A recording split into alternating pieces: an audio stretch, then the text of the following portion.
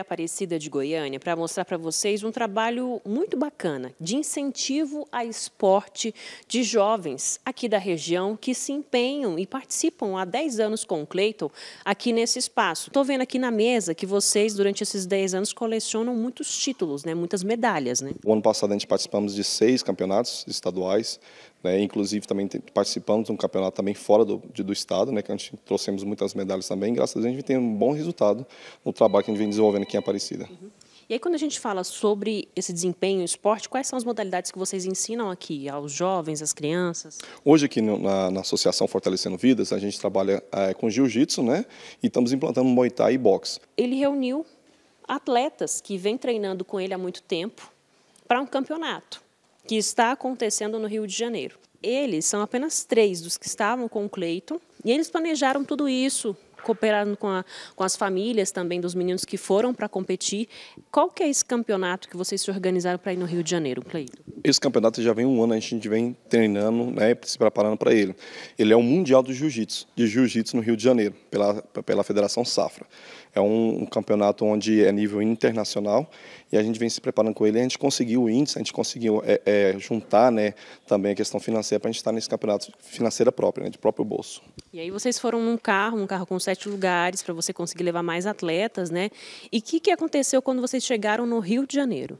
Olha, quando a gente chegamos no Rio de Janeiro, é, o GPS, né, indicando para no hotel que a gente tinha lugar a, reservado, é, assim quando ele ele pediu uma bifurcação para sair da, da, da, marginal da linha da BR, quando a gente viramos a, a, a nossa direita, fomos parar no sinaleiro, é, a gente fomos abordados um, é um carro à nossa esquerda e mais uma moto. Essa moto, o rapaz já estava sem capacete, dois na, na, moto, um com o fuzil já apontou e o, o, resto desceu do carro e já foi nos abordando e já foi o terror. A gente ficou o ano inteiro treinando, dedicando, fizemos rifa, o ano inteirinho, dedicado a esse campeonato.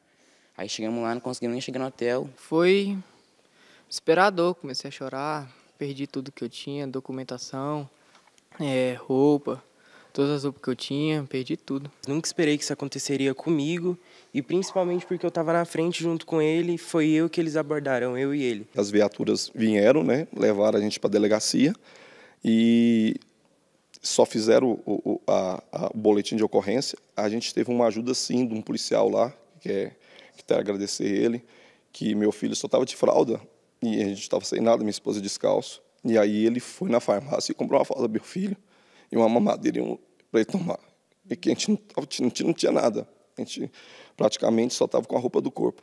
Jaqueline, você como mãe, como esposa, você acompanha o trabalho aí do, do seu companheiro, né, do pai dos seus filhos, ah, nesses 10 anos e está inserida em tudo isso aqui, né? E outra, estava com seu filho de um ano no colo. Como é que foi para você passar por essa situação? A única coisa que eu pensava era conseguir tirar os meus filhos. E quando eu vi que a gente, o meu filho mais velho ficou preso no cinto, eu também fiquei presa no cinto. Gente, na hora a gente não pensa, a gente não, não, consegue ter reação. Ele primeiro pediu a minha aliança, celular, a bolsa, tudo. Eu consegui pegar o neném no colo e eu só queria sair dali. E quando eu vi que eu não ia conseguir tirar o meu filho, eu sentei no banco e eu falei: eu não vou sair do carro se eu não levar os meus filhos. Amigos e familiares ficaram desesperados com a notícia do roubo. Mesmo com toda essa situação, parte da equipe que ficou no Rio de Janeiro conseguiu subir ao pódio. Saindo daqui campeão na categoria e vice-campeão no absoluto. Alguma parte da equipe não pôde estar aqui, mas a gente ficou aqui e está honrando né, a equipe, levando algumas medalhas para o estado de Goiás. O projeto que incentiva o esporte é exemplo em todo o país. Goiás está voltando com medalhas. Esses atletas que vieram aqui, lutaram, se prepararam e venceram. E Goiás, mais uma vez, muito bem representado por Aparecida de Goiânia, aqui no Rio de Janeiro, na Arena Deodoro. Então, muito feliz e a gente vai continuar apoiando sempre, porque aqui estão os melhores.